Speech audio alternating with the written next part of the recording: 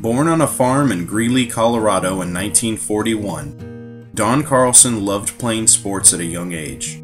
He and his older brother Gene, a 2011 MHS Hall of Fame inductee, competed against each other for hours every single day, which developed Don's hand eye coordination earlier than most. The Carlsons moved to McMinnville when Don was six, and by the time he entered Mac High as a freshman in 1956, he was known as a standout athlete. He lettered three times in football as a quarterback, earning the starting spot as a junior. Don was a skillful leader who led by example, guiding the Bears to two league championships and two state playoff appearances while winning 89% of their games. He earned an All League first team and an All State honorable mention selection as a junior, and as a senior, Don repeated on the All League first team and added an All State second team selection to his individual achievements. He played in the state All Star Shrine game to cap off an excellent MHS football career.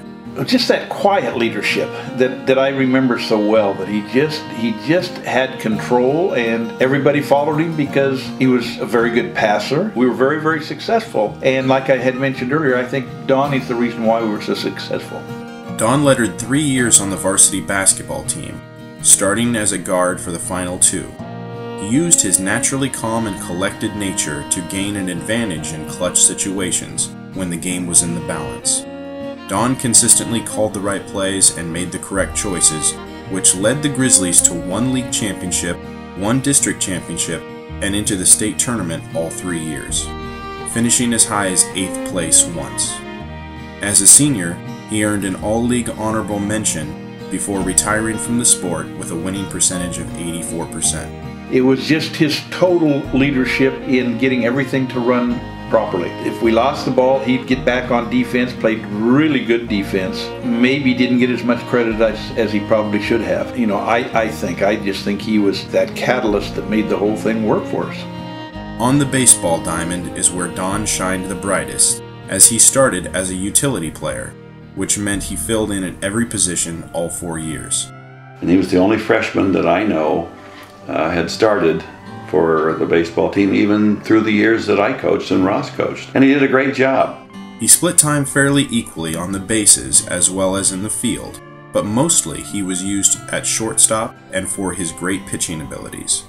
Don's years were one of the best eras in Mac High baseball, as he led the Bears to winning seasons and league title and state playoff contention each and every year.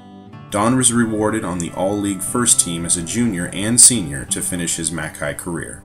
Fundamentally, as a ninth grader, he was exceptional, or he wouldn't have been starting in right field. And each year that uh, I watched him as sophomore, sophomore to up to his senior year and into college, he got better. After graduating in 1959 as a Hi-Y and concert band member, along with being the M Club vice president, Don enrolled at Linfield College to pursue dual degrees in political science and history. He lettered on the varsity football team as a backup quarterback in his first two years, but chose to retire from the sport with a 66% career winning percentage to focus solely on baseball. His specialization paid off as he quickly became the most versatile Wildcat, playing every position but mostly pitcher. He developed as a strong contact hitter who got on base with regularity and Don never got rattled on the mound as he rarely made mistakes.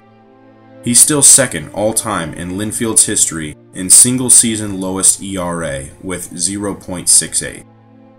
He lettered, started, won the conference championship, and went to the NAIA playoffs all four years, making him one of the winningest players in Wildcat history with a career percentage of 65%. Upon his graduation in 1963, Don was accepted in Syracuse's graduate program for public administration, where he competed on intramural basketball teams before obtaining his master's the following year.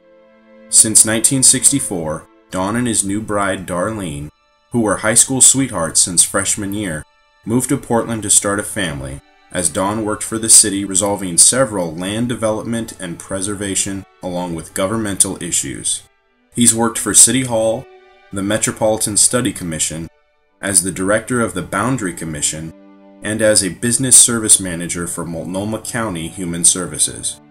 He helped create the Metro, which unified counties in Portland, while serving as its deputy director and as council administrator until his retirement in 2005.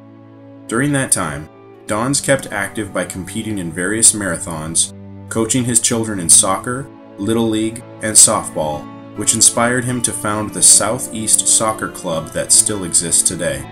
He's enjoyed golfing for decades, as well as serving as chairman of Portland's Public Golf Courses Advisory Committee but his proudest accomplishments are assisting on several political campaigns, such as one that saved Cleveland High School from permanent closure in 1981, and of course, his family of two children and eight grandkids.